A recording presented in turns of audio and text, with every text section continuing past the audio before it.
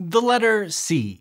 It's not just a certain cookie loving monster's favorite letter, it also represents one of the most important concepts in astrophysics. C is often called the speed of light, but that's actually a bit of a misnomer. It's more like a speed limit for light. Because in a pure vacuum, light does travel at exactly c, or roughly 300 million meters per second. But if it's traveling through something like air or water, it interacts with all those atoms and gets slowed down. Except it also doesn't. From the light's perspective, it is always traveling at c, which is super weird. But do you know what's even weirder?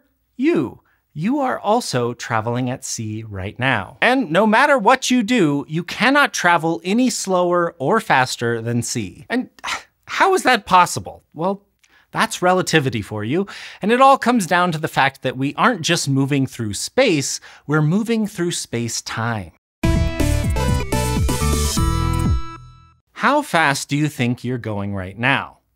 Nope, you're wrong. No matter what your answer is, you're probably wrong. Uh, relatively wrong, at least. The problem is that your answer depends on what physicists call your reference frame, the specific frame of reference from which you make all your measurements. For example, right now you might be sitting on the toilet watching this video on your smartphone. So from your perspective, hopefully your speed is zero. But from the perspective of a sunbather on the moon, you're zipping around pretty quickly because the Earth is rotating relative to their vantage point. If you were in our studio bathroom in Montana, you'd be going 318 meters per second. Meanwhile, an alien neighbor in the Andromeda galaxy might be watching our solar system with an ultra high powered telescope. And if they could measure your velocity, their result would reflect the fact that yes, the Earth is spinning on its axis, but also it would include the Earth moving around the sun at 30,000 meters per second, our solar system hurtling around the core of the Milky Way at 230,000 meters per second, plus the Milky Way's slow march towards Andromeda. Andromeda. So who's right? You, the lunar sunbather, or the Andromedan? Or some secret fourth answer? Well, one of the most fundamental principles in physics is that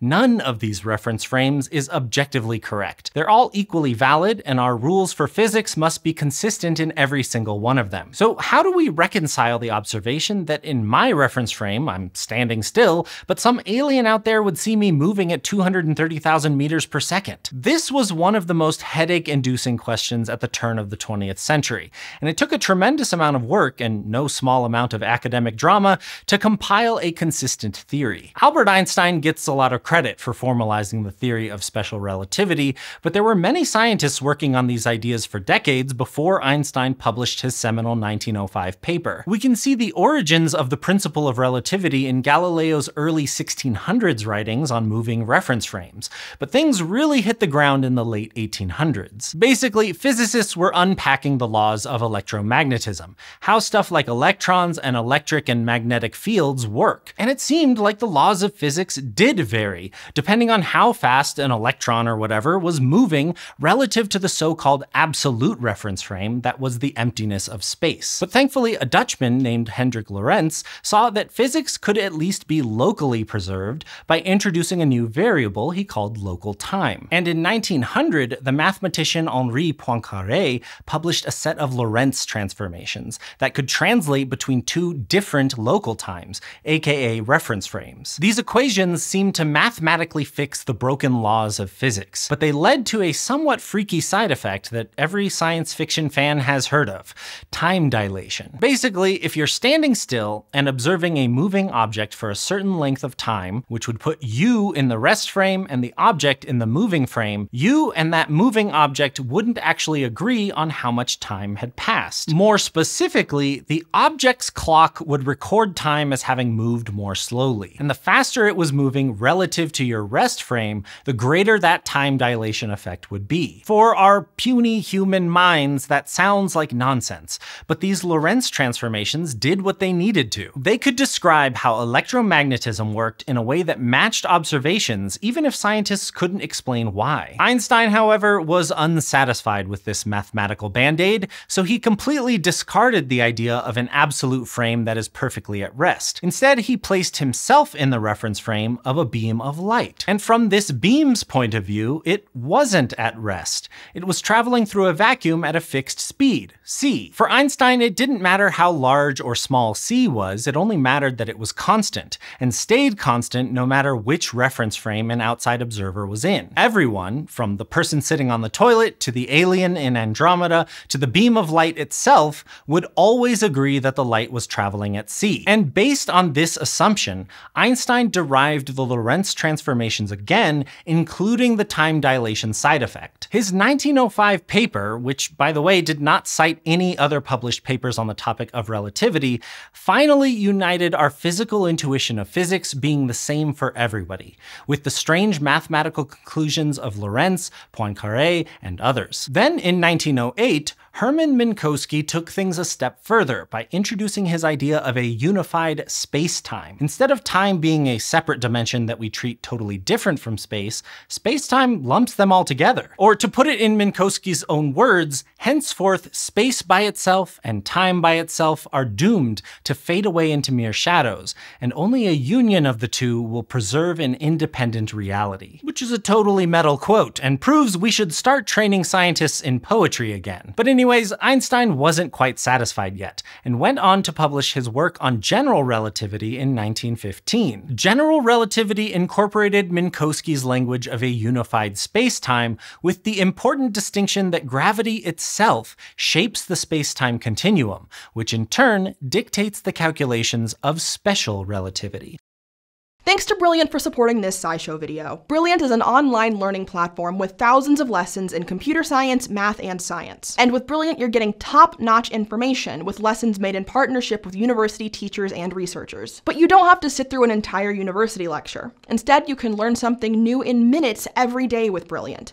You also don't have to apply or prove any credentials to learn with Brilliant. They offer lessons for the total beginner all the way up to expert level. You can give Brilliant a try for free for the first 30 days days at brilliant.org slash scishow, the QR code, or the link in the description. That link also gives you 20% off an annual premium Brilliant subscription.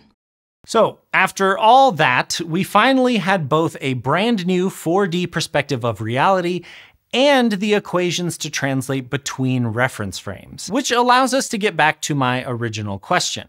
How fast are you going right now? Just like Einstein, we must shed our earthbound concepts of time and space to enter Minkowski's 4D spacetime. To measure a distance in 3D, let's call it ds, you can use this formula. ds squared equals dx squared plus dy squared plus dz squared. dx, dy, and dz are the difference in position along the x, y, and z directions. Minkowski's proposal introduces time as the fourth dimension, an equally important axis of motion. So to solve for a four-dimensional ds, we need to include a dt term.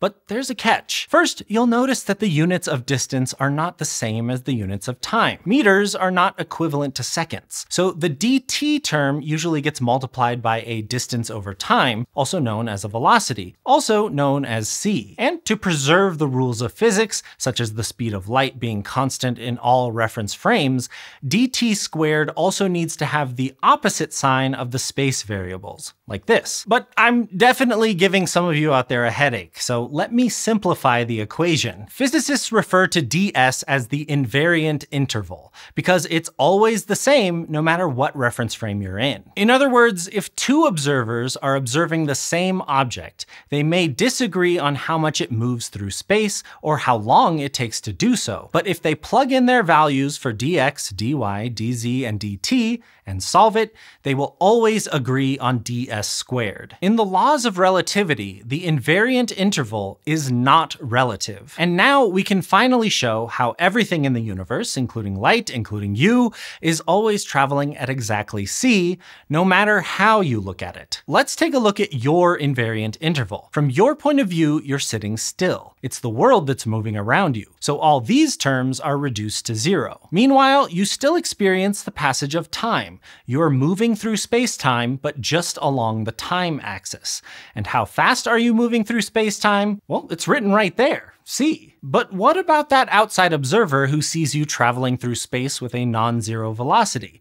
Doesn't that change the calculation? Can relativity explain that? Well, think back to the invariant interval. That has to be the same for both of you. So if they measure a larger amount of movement through space than you, how can ds stay the same? That's right, the amount of time they measure has to be lower.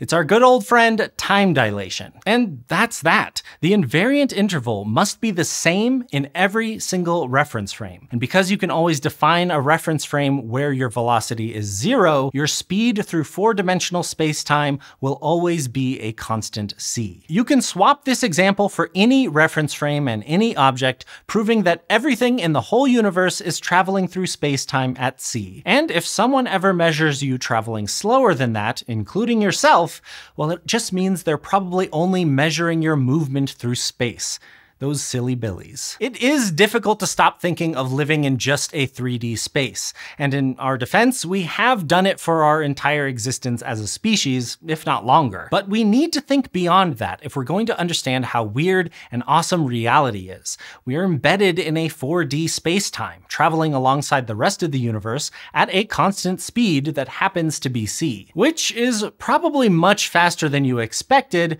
and in light of all this, maybe we should rename c the speed of everything.